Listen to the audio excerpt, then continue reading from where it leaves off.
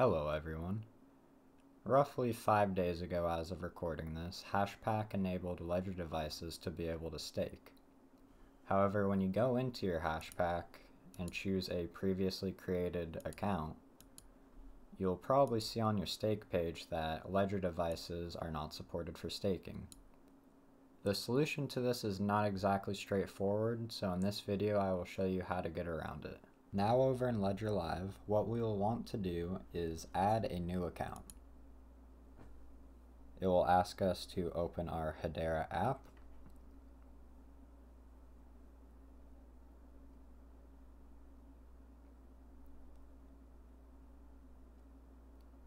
It detects that another account is associated with this device. We do not want to pick that.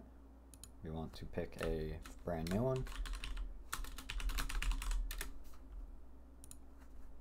And we have our account successfully added. Another thing that you might want to do is get the receiving address for this new account. We will use this in Hashpack later. Now back over in Hashpack, we will go to Add Wallet,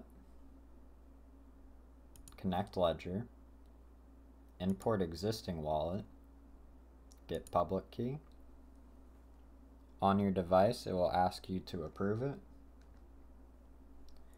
And then select the account that matches the receiving address in Ledger Live.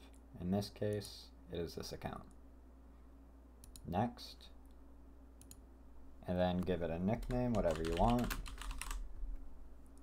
And then we'll hit Import Wallet.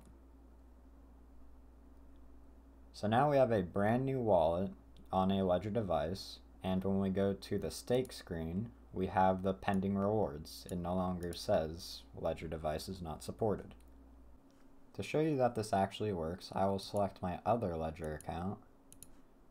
And when we go to the staking page, you can see there are pending rewards. Hopefully in the future this process will be simplified, but this was the way I found out how to get around it. Hope you found it helpful.